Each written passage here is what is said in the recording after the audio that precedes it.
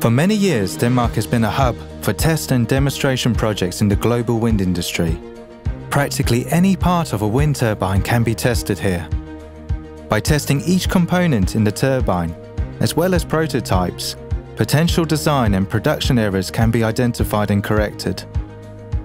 This is important to ensure product quality for developers and investors. Also, it is much cheaper than to correct errors after the turbines have been mass produced and installed around the world. On this tour, we will visit some of the Danish test facilities. Our first stop is the test centre Østerild in northwestern Jutland. It opened in 2012 and offers test facilities for nine full-scale prototype wind turbines. Certified test and validation of turbines requires an average wind speed of at least 8 meters per second at 100 meters altitude. Østerild provides ideal wind conditions for this.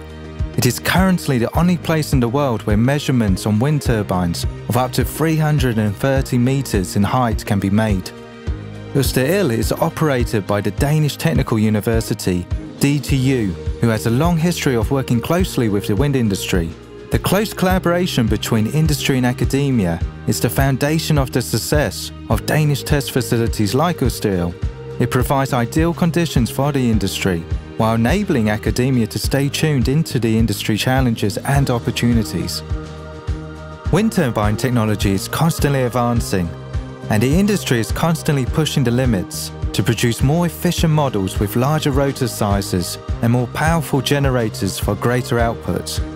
One of the wind turbine manufacturers present at Østerild is Vestas, one of the largest wind turbine manufacturers in the world. By testing its wind turbines at Østerild, Vestas is able to thoroughly monitor the reliability and performance of its turbines before serial production commences. The second stop on our tour is the Lindø Industrial Park. It is a former shipyard located between the North Sea and the Baltic Sea. Lindø is an example of the unique closeness of the different players in the Danish wind industry.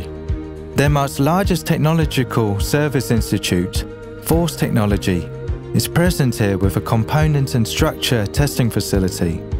The international steel contractor, Bladt Industries, produces foundations for offshore wind turbines here and the wind turbine manufacturer Vestas produces offshore wind turbine nacelles at the park. At Lindø, we also find a Lindø Offshore Renewable Centre, LORC, which is a full-scale wind turbine nacelle test centre. It's taken over 20 years to build up the facilities at LORC, and it has been constructed to ensure that the next generation of offshore wind turbines can withstand the harsh conditions out at sea. The industry park forms a unique setting for the test center as it allows for the lifting and transporting of heavy test items. To your right, you can see an example of the infrastructure, a massive gantry crane. It has a lifting capacity of 1,200 tons, and its range can span from the road to the dock. This allows for large components arriving by sea or road to be lifted directly into the test halls which all have removable roof sections, allowing for easy installation. Inside the halls we find three nacelle test benches, a 14, a 16 and a 25 megawatt. They allow for testing the most powerful onshore and offshore wind turbine nacelles and drivetrain components. The test benches are used to verify the performance and robustness of a nacelle's electrical systems, as well as grid compliance. Highly accelerated lifetime tests are also performed, which can reliably verify the expected lifetime of a wind turbine. The last visit on our tour is LM Wind Power's Technology Centre at Lunderskov in Jutland. With its roots in Denmark, LM Wind Power has been a frontrunner in blade development and testing for over four decades. A rain erosion test centre and a wind tunnel are among its test facilities in Denmark. They ensure the development of innovative, long-lasting solutions that enhance the performance of wind turbine blades.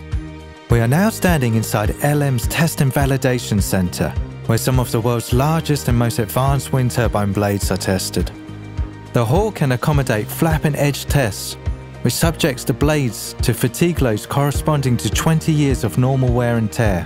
This is done by setting the blade into millions of oscillations, edge and flapwise, while an infrared camera checks for small cracks in the laminate. We end our tour back at Test Center Østerild to enjoy one last view of some of the newest wind turbine innovations. In Denmark, world-class test facilities provides a unique setup that allows industry to set new international standards and push the limits of wind power. I will leave you here to enjoy the view.